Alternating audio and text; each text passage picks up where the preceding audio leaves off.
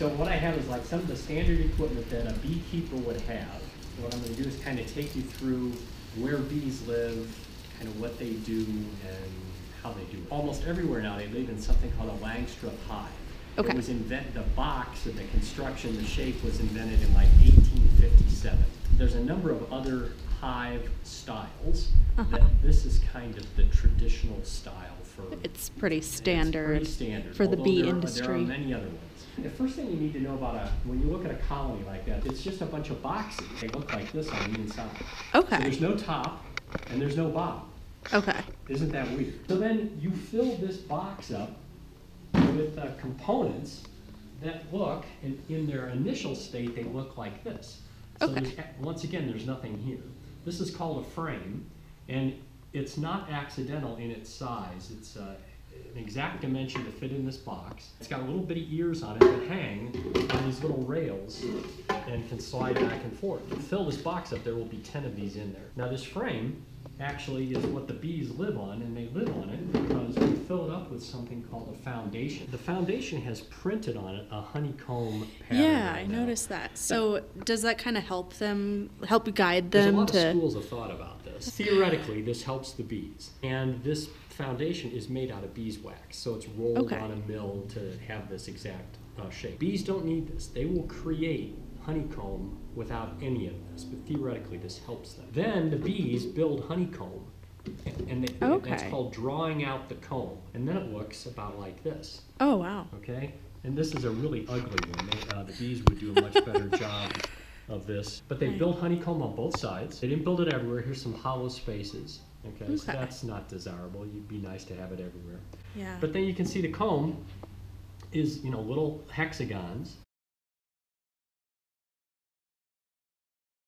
This honeycomb that you see here is kind of the standard size honeycomb. This is 25 holes per square inch. There's a slightly larger gauge honeycomb, which is 16 per square inch, so the hole's a little bit bigger. Okay. That's what drones grow up in. Little bees grow up in the honeycomb. Food is stored in the honeycomb, and food consists of pollen. So there's pollen in certain cells. There's Mhm. honey in other cells, and there's something called a bee bread in other cells, which is kind of a mixture of pollen and special special honey. One frame can house comfortably about a thousand bees on each side. If you go out to a hive and you pull one of these frames out carefully and you hold it, on a good day there'll be a thousand bees before you right there. And on the Wow. other side, carefully, there'll be another thousand there. Oh my Okay. god. Right. And they're very happy doing what they're doing. So Yeah. they just keep doing what they're doing. You do the math, a thousand on each side, that's two thousand on a frame, and there's ten frames, so that's twenty thousand bees in a box. A colony is like one queen and all the bees for that queen. A typical colony is two of these boxes, so that's 40,000 bees. The other thing you should notice about the Langstroth box that really makes this thing uh, key is this space between the frames. So you see, I have them pushed tight together, Mhm. but the thing that keeps them from getting any closer together is the fact that there's this rib that sticks out on the edge. Right. Okay, there's one of those on, on both sides, and so as you push them together, you end up with this space. Right. This is called the bee space, which was discovered by Langstroth. The bee space is supposed to be big enough that the bees can get in it, but small enough that they won't fill it up with honeycomb. Every other spot in the hive that's bigger than the bee space, they'll try to fill it up with honeycomb. These guys are busy, so they'll just Yeah. fill everything up with honeycomb. Or something even weirder called propolis. Bees also make another substance most people don't know about. It's called propolis. It's a glue that they Ooh. make out of like pine sap and Huh. certain uh, enzymes that they add to it. Yeah. And they fill all kinds of cracks in the hive with propolis. So Okay. they're great architects. They just, Wow. There's no holes in the hive that they Yeah. haven't taken care of somehow, either with honeycomb or they're walking in it or they're filling it up with propolis. So this this becomes a hive box. It's, it's also referred to as a deep. It's about 10 inches deep. When this is full of bees and uh, full of uh, honey and pollen, it gets pretty heavy. Okay? Uh-huh. It gets pretty heavy. So you don't move these around very much. Here's a frame that they've, that they've done some work on. So what you see here is this patched area, Mhm. which is actually honey that's capped over with wax. Oh wow. So these guys are great storekeepers. They fill the cells with honey, and then they cap it over, and it stays good until they need it. Why doesn't the honey just run out when the bees Yeah. put honey in here? If you got out your protractor and you looked at these honeycomb cells, you would see that they don't stick out horizontally. They're actually off of horizontal by about nine degrees up, so the honey doesn't just roll out. Now, one of these, if it was completely filled with honey, would be quite heavy. Completely filled frame with honey is maybe, I don't know, eight pounds, something like that. You got 10 frames, that could be 80 pounds. This is not the kind of box that we want to collect honey in for a couple reasons. This honeycomb not only has honey in it, but some of the cells will be filled with pollen. Mm-hmm. Some of them will be filled with baby bees that are growing up, Aw, right? yeah. So you can't go and extract honey from these frames. It's really because it's got a bunch of contaminants in it. You and I just want the honey. So what we do is we have slightly smaller boxes that go on top. And the reason it's shorter is because beekeepers can't lift 100 pounds. This is all solid plastic, but once again, it has the honeycomb on it, okay? or the impressed in it. In order to facilitate getting the honey out of here, the foundation is solid plastic. And the reason is because we use a centrifuge to spin out the honey. And when you get a centrifuge going really fast, if the foundation is fragile, like it's made out of real uh, beeswax, it can get destroyed in the centrifuge. Mm. It'll get blown out just like the honey does. okay? Right. So a solid plastic doesn't get blown out of the centrifuge. Well, wait a minute. Why doesn't why don't these honeycombs get filled up with baby bees? The reason that mine don't is because I've used a device like this, which some hmm. people think is a barbecue grill. It's called a queen excluder. And for some reason that I cannot possibly understand, the queen will not go through here, but the workers will. So before we put the honey super on top, we put the queen excluder on top of the frames, and then we put this on top. Okay. And the workers can go right through that. Up here, they can build comb and they'll put honey up here. But the queen will never get up here, so she'll never lay eggs. And so the workers will never put pollen up here either. Now you've got you've got a setup. Whether or not you've got a honey super on the hive or not, eventually you need a top. Mm-hmm. And this is a top. Okay? There's nothing to it, except you notice that the board that is the top is actually recessed from the edge, mm-hmm. the bee space. So when you put it on there, the bees can walk un- underneath that edge and they won't be tempted to make comb in there. Okay. Now that said, you can look at the top of the uh, supers and you can see they've made honeycomb. So, Yeah. you know, best laid plans, they don't make honeycomb anyway. If they decide they want to, they're going to make it there anyway. This is called the inside cover. There's still a little hole right here. And that's to get ventilation. So you actually want air to be able to flow through the hive. Outer cover and it just looks like that. This is really called a bottom, and it happens to be a screened bottom board, which means that this piece here is a screen instead of actually a board. And in fact, it's got this insert that I can pull out, and now the screen is wide open to the outside. Okay, it's kind of like a storm window, right? You can pull this out. So this bottom board is actually the very bottom of the hive. So you sit that on a cement block, or I have a wooden frame here, whatever you want. And you'll notice that it's got this lip all the way around the edge. The hive is gonna, the hive box is gonna sit right on top of this. The bees can go right down there and walk around on the screen. On the front, there's no lip. And that's because mm-hmm. that's where the bees are gonna get in. So I'm gonna take the boxes that we just made, and I'm gonna move them over here, and you can see what it looks like. Boom. See that opening on the front? Yes. That's where the bees go in and out. It's got a little landing pad right here. So the bees, when they come flying in, they can land and then they walk in. And then they walk in. Same thing, they can walk out and then take off. Some other bees, this is their job, at least for a while, they will, they're guard bees. And so they will sit along that opening. And if somebody who's not a member of the hive happens to land there, they will, you know, ask them for their credentials, their photo ID, and then they'll send them on their way. Okay? So you gotta be a member of this colony to go to this Okay. hive. Say, does not have a lot of bees in it, it's weak, maybe the queen is failing, and there's another hive nearby that happens to discover that that hive is failing, they can attack the hive and steal all their honey. So they can rob Oh the my honey. gosh. Yeah, it can happen. Wow. It's not cool.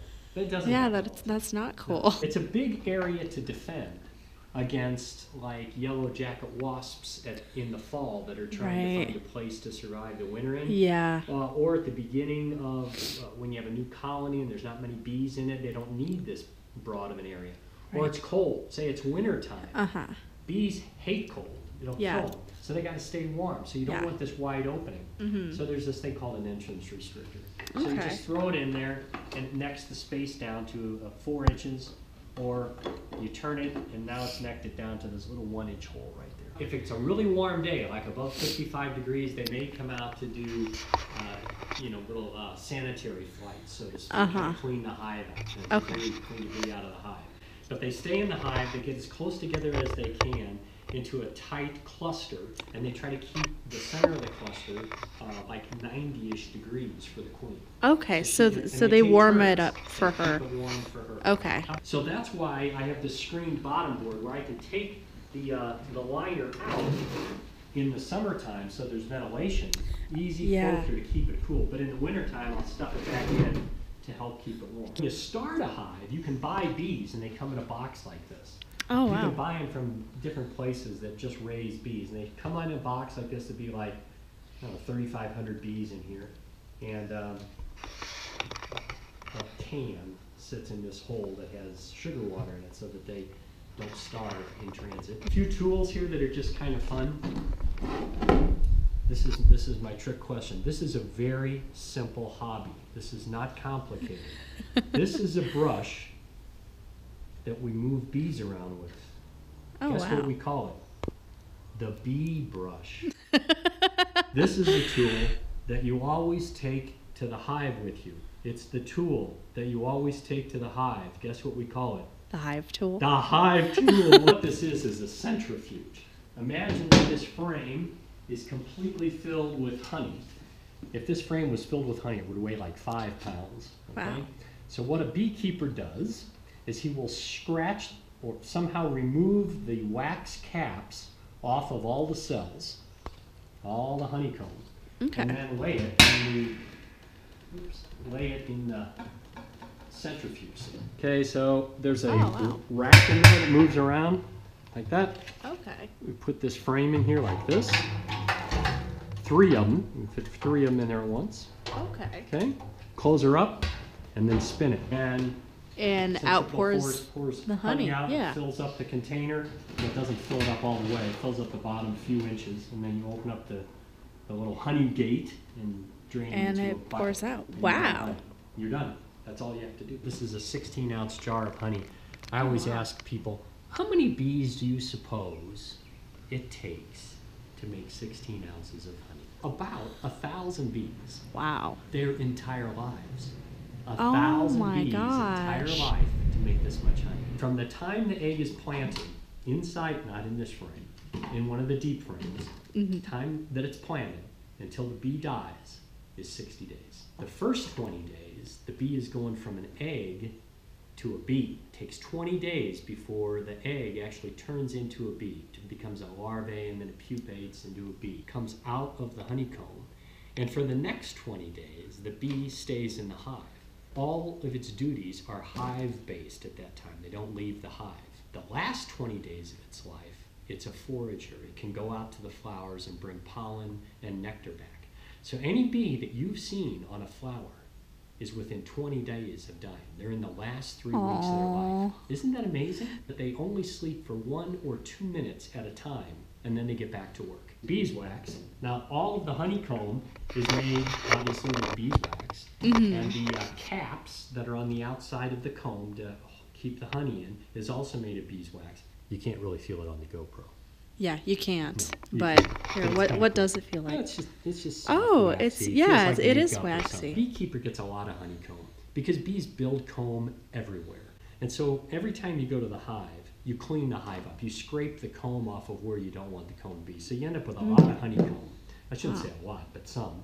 And you can melt it down, and pretty soon you can get a block of. So this is a block of beeswax. Here's a smoker, a standard smoker. Um, I don't actually smoke my bees uh, too much anymore. I haven't smoked them for a couple of years, but theoretically, if the bees are real active and you want them to quiet down, you can uh, burn some burlap in the smoker, Huh. and smoke comes out, not flame smoke, and you just uh, put a little smoke over the hive, and the bees will go down into the hive, kind of away from where the beekeeper is. The thing that calms bees down is spraying them.